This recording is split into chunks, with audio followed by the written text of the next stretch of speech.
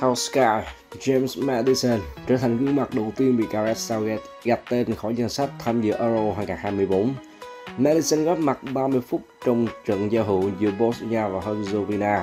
Trước đó, khép lại mùa giải vừa qua, Madison ghi được 4 bàn thắng và có 9 kiến tạo tại Premier League, một thống kê tương đối ấn tượng.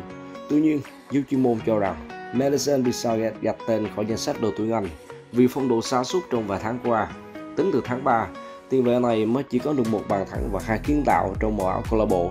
Để so sánh, thành tích của Madison dù ấn tượng nhưng vẫn kém xa so với những người đồng đội khác như Cole Palmer, Anthony Gordon, Jude Bellingham, Bukayo Saka, Phil Foden hay Gerard Bowen. Hiện truyền thông Anh dự đoán Jack Grealish có thể là gương mặt tiếp theo nó lời chia tay với Euro 2024. Vào ngày 8 tháng 6, Anh sẽ có trận giao hữu cuối cùng trước thềm Euro gặp Iceland. Sau đó, Southgate sẽ chốt đội hình gồm 26 người tham dự Euro.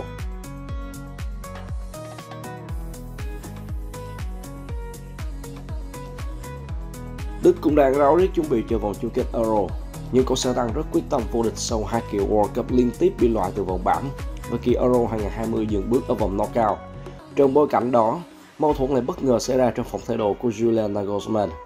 Ở buổi phỏng vấn gần nhất, Marc-Andre Ter Stegen thể hiện rõ sự thất vọng khi tiếp tục phải dự bị cho Manuel Neuer. Thật khó chấp nhận tình cảnh này, bởi tôi từng hy vọng mọi chuyện rồi sẽ khác. Đây là quyết định của huấn luyện viên nên tôi phải tôn trọng và chấp nhận, dù tôi không đồng tình với ông ấy. Ngay sau đó, Neuer lên tiếng đáp trả. Ter Stegen hiểu tình huống này. Thật không may bởi cậu ấy là một thủ môn đẳng cấp thế giới và thể hiện tốt. Nhưng đó là một phần của công việc.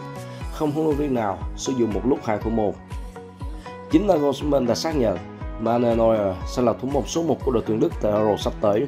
Do đó, chia sẻ trên của Mark Andre Ter Stegen không thể giúp anh thay đổi tình hình, mà còn làm lục đục thêm tình hình nội bộ đội tuyển Đức.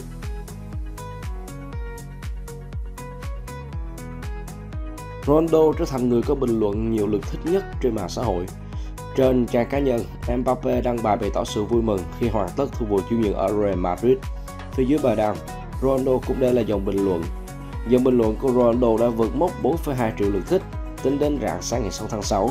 Theo Daily Mail, TNT Sport, đây chính là bình luận thu hút nhiều lượt thích nhất lịch sử mạng xã hội Instagram. Ronaldo còn giữ một kỷ lục khác trên mạng xã hội, đó là bài đăng công bố tân binh có lực cao nhất trên X của Real Madrid. Năm 2009, tin công bố Ronaldo gia nhập Real Madrid thu hút 950.000 lượt thích. Hiện tại, Bài đăng công bố Mbappe nhận 930.000 lượt thích. Con số này sẽ còn tăng lên trong vài ngày tới.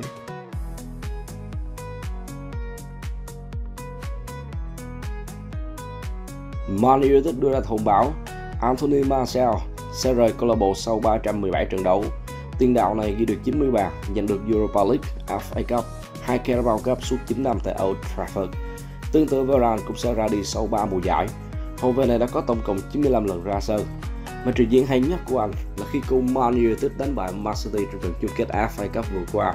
Danh sách 8 cái tên phải rời Man United mùa này còn có Alvaro Fernandez, Brandon Williams, Charlie McNeil, Marcus Lawrence, Kyle Blumley và Tom Huddlestone. Trong số đó, Brandon Williams không có tương lai tại câu lạc bộ. Cầu thủ người Anh được Ole Gunnar Solskjaer trao cơ hội lên đội 1 kể từ mùa giải 2019-2020. Càng về sau, Brandon Williams đánh mất vị trí khi Sosa rời Man United. Cầu thủ này bị đánh bật hoàn toàn. Cầu thủ kim trợ lý U21 Man United Tom Huddleston, quyết định chia tay đội chủ sân Old Trafford sau 2 năm gắn bó. Tiền vệ này được ký hợp đồng và thi đấu cho U21 Man United với tư cách một trong năm cầu thủ quá tuổi được ra sân tại Premier League 2 và EFL Trophy.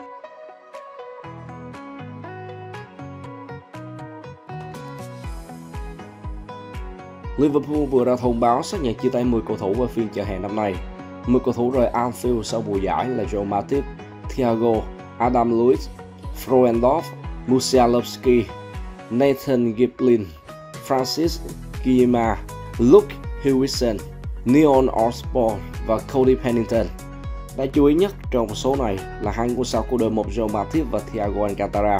Matip và Thiago xác nhận chia tay Liverpool vào cuối tháng trước Cả hai cùng ra đi theo dạng miễn phí khi hợp đồng của họ hết hạn sau ngày 30 tháng 6.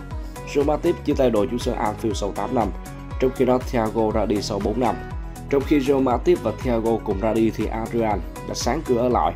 Theo tin từ Liverpool, họ đã liên hệ với thủ thành người Tây Ban Nha và gửi anh một lời đề nghị gia hạn hợp đồng mới. Tương tự Adrian, Salah cũng sáng cửa ở lại. Thay vì chuyển đến Ả Rập Xê Út, tiền đạo người Ai Cập có thể gắn bó với Liverpool thêm ít nhất một mùa vì vẫn còn nằm trong kế hoạch của Arne Slot. Theo Daily Mail, những nhân viên không trực tiếp làm việc cùng với đội một Man United sẽ phải dùng bữa tại khu vực riêng vào giờ ăn trưa tại Carrington. Động thái này được thực hiện sau đợt cải cách toàn diện mùa hè. Động thái của Sir Jim Ratcliffe được coi là nỗ lực giúp các ngôi sao của câu lạc bộ giảm bớt những phiền toái không mong muốn. Quy định này sẽ gây ra sự chia rẽ trong nội bộ, theo The Sun. Ngoài ra, nó cũng mâu thuẫn với quy định của Sir Alex Ferguson khi còn tại vì Sir Alex tích cực khuyến khích tất cả cầu thủ và nhân viên cùng dùng bữa với nhau để gắn kết mọi thứ. Trong cuốn tự truyện Managing My Life, Sir Alex viết Tôi muốn tạo dựng mối quan hệ bền chặt giữa mọi người xung quanh câu lạc bộ với nhau, không chỉ các cầu thủ, huấn luyện viên mà cả nhân viên hậu trường, nhân viên văn phòng, đầu bếp, nhân viên phục vụ trong căng tin và cả nhân viên giặt ủi. Tất cả đều phải tin rằng họ là một phần của đội bóng. Kể từ khi giành quyền kiểm soát hơn 25% cổ phần Man United, Sir Jim Ratcliffe đã thực hiện nhiều thay đổi. Tháng trước, Man United gửi email yêu cầu các nhân viên làm việc tại nhà phải quay trở lại văn phòng. Những người không chấp nhận phải viết đơn xin thôi việc và nhận được một khoản phí bồi thường hợp đồng.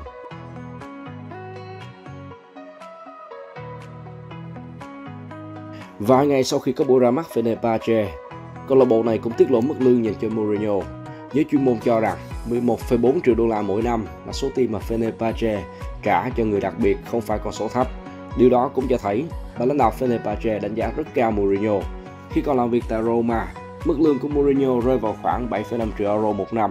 Còn khi dẫn dắt Tottenham Hotspur, số tiền này là 11,7 triệu euro mỗi năm. Mourinho ký hợp đồng 2 năm với Fenerbahce. Hiện chưa rõ Mourinho sẽ nhận được thêm bao nhiêu nếu giúp Fenerbahce gặt hái thành tích tốt. Nhiệm vụ của ông là giúp câu lạc bộ này giành chức vô địch quốc gia. Đã một thập niên trôi qua, đội chủ sân Sokro Sarac Joklu vẫn chưa biết đến hương vị chiến thắng tại giải quốc nội. Tháng trước, họ đã bị Galatasaray đánh bại trong cuộc đua vô địch. Ở mùa tới, Fenerbahce cũng giành quyền tham dự vòng loại Champions League. Đó sẽ là cơ hội để Mourinho chứng minh rằng bản thân ông chưa hết thời. Hiện đội hình của Fenerbahce vẫn còn khá nhiều cầu thủ tên tuổi như Zeko, Dusan Tadic hay Fred